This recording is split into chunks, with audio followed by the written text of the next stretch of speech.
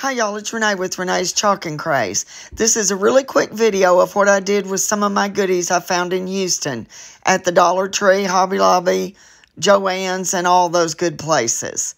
I'm crackling it using the Elmer's glue, base coated in brown. Going to go over it with Waverly while the glue is wet. Then when I get this done, I will blow dry it and it crackles beautifully. Then I will antique the edges with Tim Holtz Distress ink. I will chalk my sign using my P. Rabbit and Company transfer. And as you'll see, I turn this transfer upside down and inside out, literally. If you'd like the cart link for these products, comment Rabbit. And if you'd like to see the full length video, it is on my Facebook page, Renee's Chalkin' Craze. Remember, comment rabbit for the cart link.